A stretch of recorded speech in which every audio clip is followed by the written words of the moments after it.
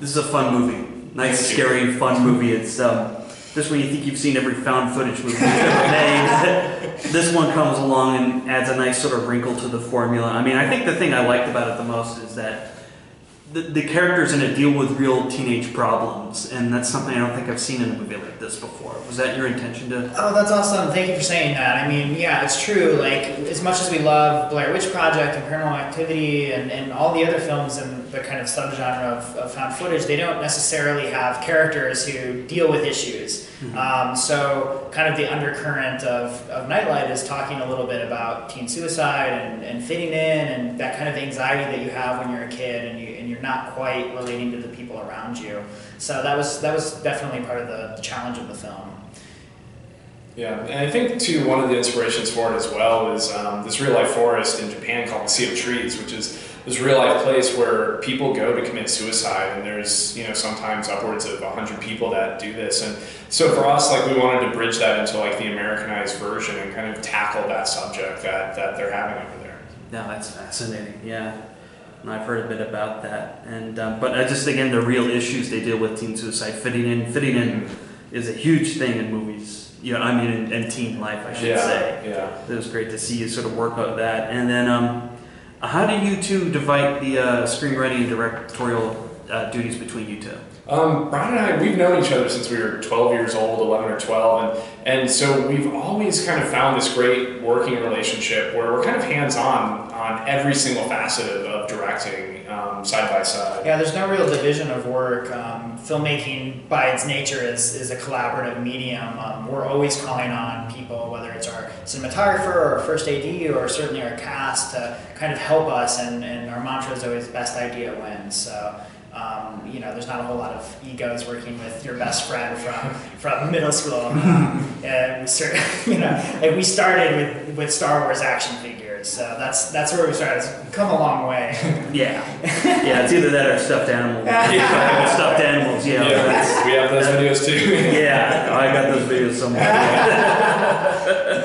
And um, when it came to casting the actors for this movie, what was most important to you? That they have some sort of improv experience, or that you know? Yeah, partly. I mean, I think also like some sort of realism because we purposely cast um, actors that not weren't necessarily like known commodities, so that when audiences are watching it, they feel like everyday, you know, realistic teenagers. The other important thing that our cast had to have is they had to be able to perform for a seven to eight minute take that wasn't going to be edited together. I mean, some actors, um, you know, it, it's, it's kind of a well known thing in the business that, like, some actors aren't necessarily as good as we all think they are because of editing and lighting and music. You know what I mean? The elements of, of cinema that we're all kind of familiar with. But our cast had to be able to perform for an eight minute take and it had to live in that performance and hold up under that kind of scrutiny essentially so when we were casting um, the auditions always ran really long because we had to see you know like did they have the chops for a long take Nice,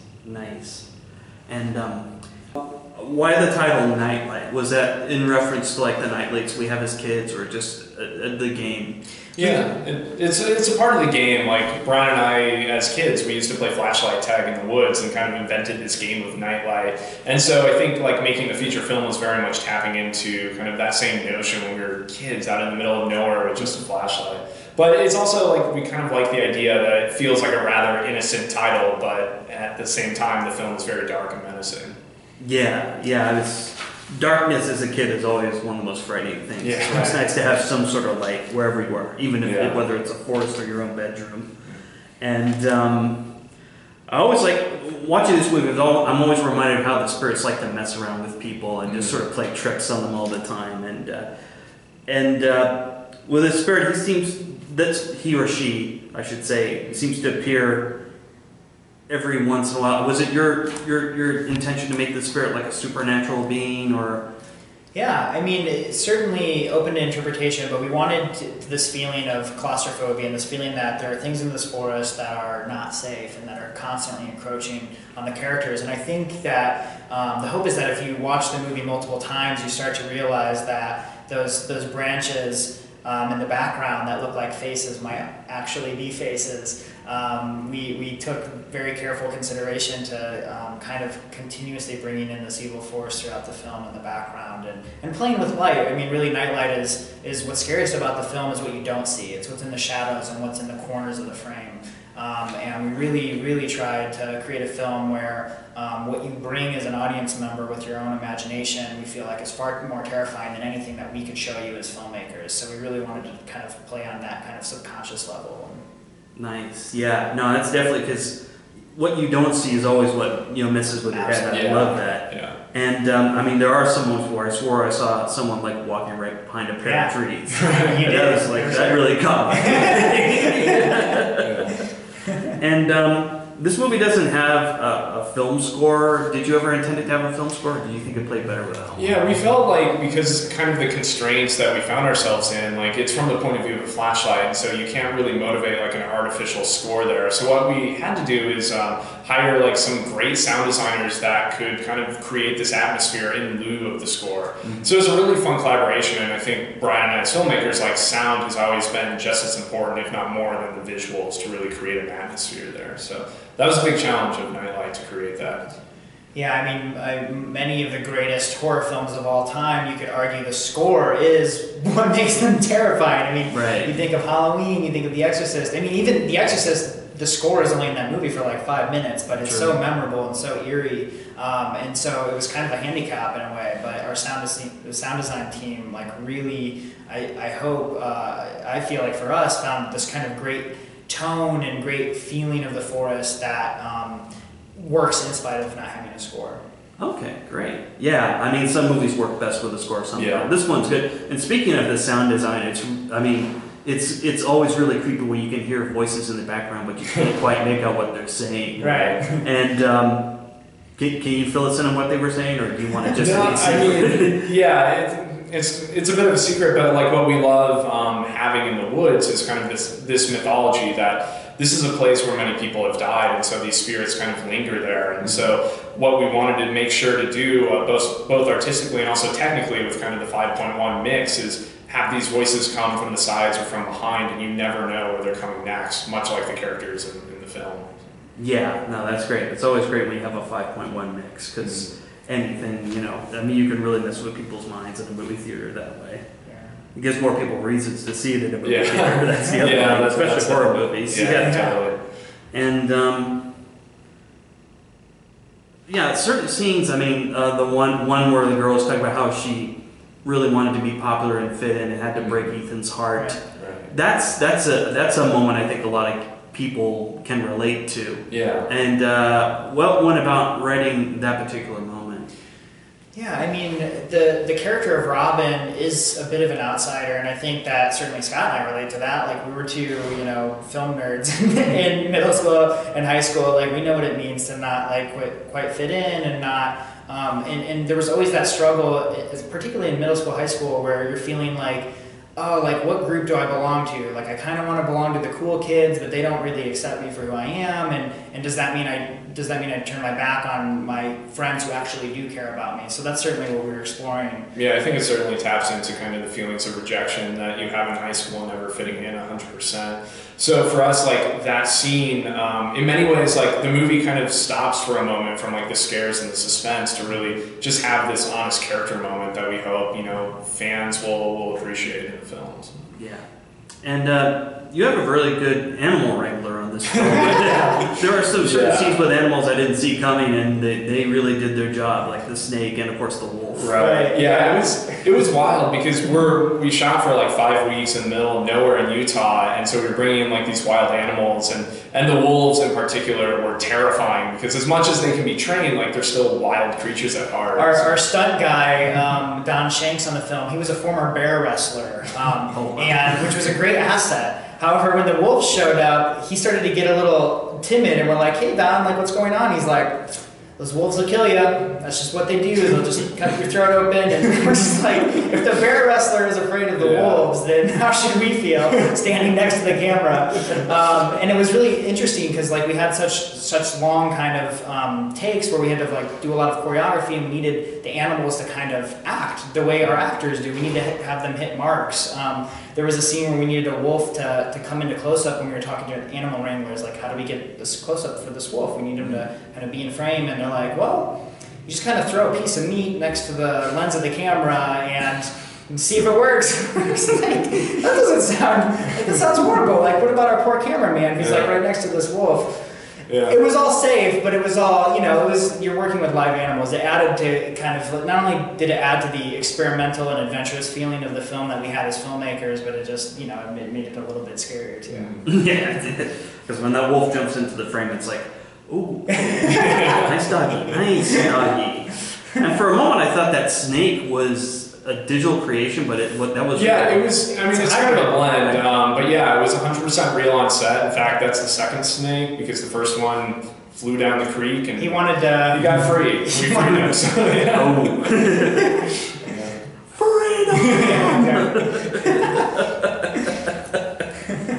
and um, just uh, there are a number of moments like you know when one person says, "I'm not going in there," and does go in there. Was that an actual cave at the? the Yeah. It was. It's it's funny because for the longest time we thought we were going to have to build like a cave on set, which which just isn't as cool as finding a real one. But during one of our location scouts, we were scanning by like this rock wall, and we saw this little opening opening in the in the wall, and it was really dark, and it was not map on any maps. And so, kind of again in the adventurous spirit of the film, like we got a couple flashlights, ventured inside, and just went all the way back where like it started filling up with water, and it kind of it was like, terrifying. We have to shoot Yeah. here. This is exactly what we wrote, and it was super scary. And yeah, it's just like we got lucky like that. And it's like a lot of different locations. Um, our mantra on the film is always like, if we can do it practically, if we can do it without building sets, or we can do it without visual effects, like we always took that opportunity. Um, another sequence in the film that's a great example of that is the train game, where the kids are playing on the train tracks, and this train kind of comes up as the girl runs out onto the tracks.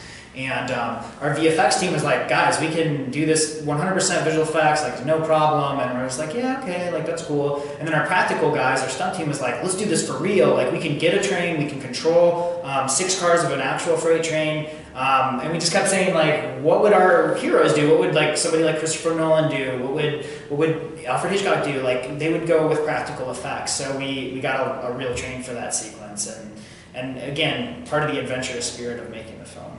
Yeah, the train sequence. I mean, I was convinced for a moment that that was like not real. I mean, train sequences can be very troubling when making a movie, but Yeah. it sounds like you had full control over it. Yeah, we did. We had a great stunt team and, and great control of it. So it was it was a safe way to do it, but it was also very effective in terms of the storytelling. Wonderful, wonderful. And um, I understand you have another movie coming up that's being produced by Darren Aronofsky. Is that correct? Yeah, we Yeah. can't talk much about it other than to say like we're you know the, the writer Mark Heyman who did Black Swan. We're just huge fans of his of his work and and um, we're working on that project with him now and he's been a joy to work with. Yeah. And And it's very much like um, the storyline is kind of fatal attraction for the 21st century, which we feel like there hasn't been like an heir to the throne that really taps into how we manage our daily lives on, on social media. So hopefully that'll be next. Yeah, that'll be interesting. It's been a formula that's been asleep for a while. Yeah, so- definitely. Yeah. And um, I mean, of all the places you looked at to shoot this movie in, what was it about Utah that really uh, brought you into the? Uh, you know, Utah is just, it's a beautiful state that has a huge range of many locations. It has everything from forests up in the mountains to those beautiful Monument Valley deserts that John Ford used to shoot at. I mean, I feel like you could almost shoot any movie in Utah and probably figure it out. Um, and the other main thing that attracted us was that um, Don Shane, the line producer, he had, he's worked in the horror genre before. He did Frozen in Utah, and, and he just really loved Nightlight. And he kind of promised us, like, you guys take this movie to Utah, I will get you an A plus crew. I will get you the best guys in the state. And um, we trusted him, and, and he came through. And, and that was the main reason because we knew it was going to be um, a difficult movie to shoot, and we just wanted, you know, the support of the best people that we could find. Absolutely, absolutely. And then, um, not to give anything away, there are certain shots where uh, we see characters or cameras fall from a great height. Right. Yeah. Um, was that done practically, or was yeah, it- it's yeah. yeah, because we actually um, on on set we did have stuntmen like uh, going down like 100 foot, 200 foot cliff faces with with a full red camera to kind of achieve like what we hoped would at least be kind of a reference for what we wanted certain shots to be. So Our crew was just so awesome. They were just always like, "Let's do it for real." Like, don't at, like anytime like we could do something for real. Our crew was like, "We want to do this." Um, Which Which is- guys off mountains, Yeah. like they wanted to do that. They really like begged, and you know, you don't have to ask us twice. We're like, "That's sweet. That's awesome." Like we, It taps into the fun, like of, of making movies. Like when we were kids, we were watching like Saturday morning specials on the making ofs of like Terminator Two or something. And like Oh, yeah. what always, what we always loved about that was like, for instance, in that James Cameron always wanted to do practical effects with with the machine and such. And so we just wanted to have that same spirit of filmmaking. great, great? And you said you had five weeks to shoot this film. Yeah, correct? five weeks in Utah. Yeah. And what was the budget? Um, we can't say the budget, but I mean it's very much in, in range of like movies of, of like Paranormal Activity franchise. Okay. Yeah. yeah, like Insidious, that kind of Yeah. micro budget Yeah. horror series.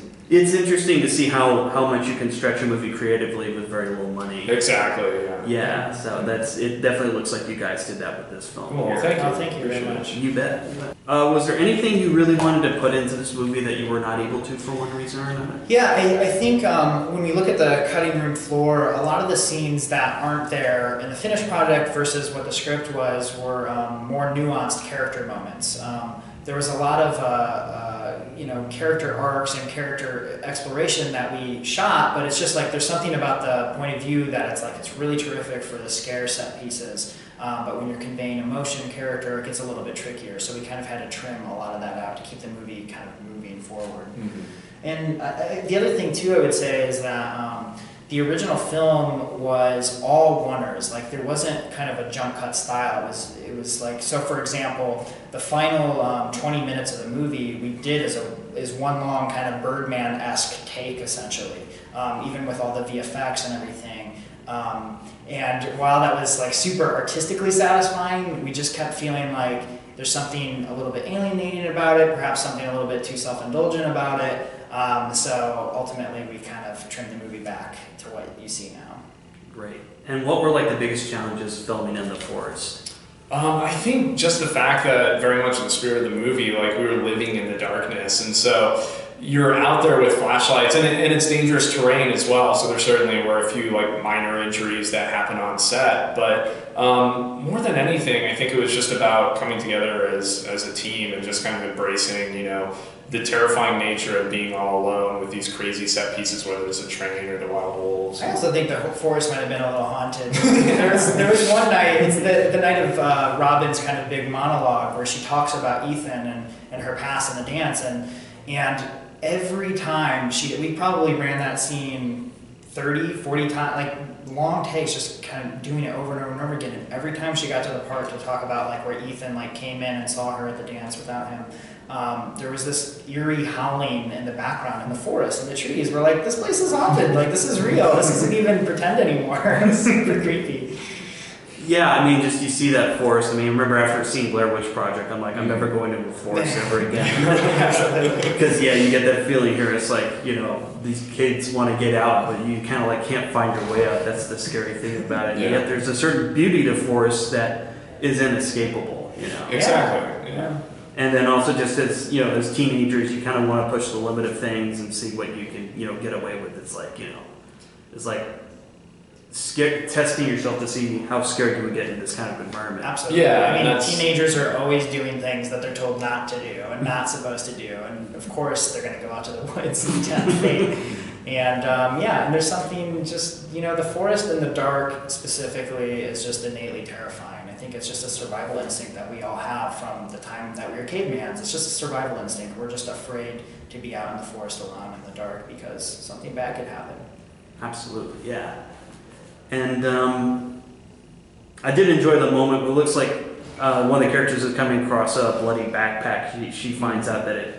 She's like, "Ooh, gross!" And then she finds out it's condoms. Yeah. that was a great moment. I was expecting her to take out a human head. Or Right. something. That's great. Yeah, it's it's- good to hear. We've always enjoyed. We, we love those horror movies that kind of like inject humor throughout. There's something fun about that, you know. Yeah. I think like uh, Hitchcock was a master of that. Like even in his, his later films like Frenzy, like all the exposition would always come over this like hilarious like dinner table sequence that was just full of laughs and that would peppered throughout the entire film. So for us, it always comes back to finding those moments where you can have some levity, um, even when you know things are getting really scary. I mean, Jaws. Jaws is one of the greatest comedies of all time. It's, it's hilarious. yeah. It It also is. happens to be very terrifying. Yes, it is. it always helps to have really good characters in a horror movie, and yeah, the humor does come in handy at times. Otherwise, you know, Yeah. it can be too ter- terrifying. You know, a la Texas Chainsaw Massacre. I should take away from that. That's a classic. and um, uh, what's what's aside from the the project we were talking about earlier? What, what would you like to do next? I mean, there's a couple films definitely in the horror genre that we're working on that that that don't really work in the found footage genre, um, but they're they're certainly like on the canvas of like The Conjuring or The Sixth Sense, where um, they're still horror pieces, but they also have this dramatic emotional through line. I mean, Rosemary's Baby is another touchstone for us. I mean, what a terrific movie. It's so scary, but it also is just a drama between this young couple who's cohabitating for the first time, and they have an apartment, and they have new neighbors, and yeah, we're always trying to find um, something that's kind of a scary high concept, but um, has relatable elements that we all experience as humans. That's great. Yeah, because that's that's what really makes horror movies work. exactly. Yeah. Great. Well, thank you very much, guys. Cool. Thank you. You bet.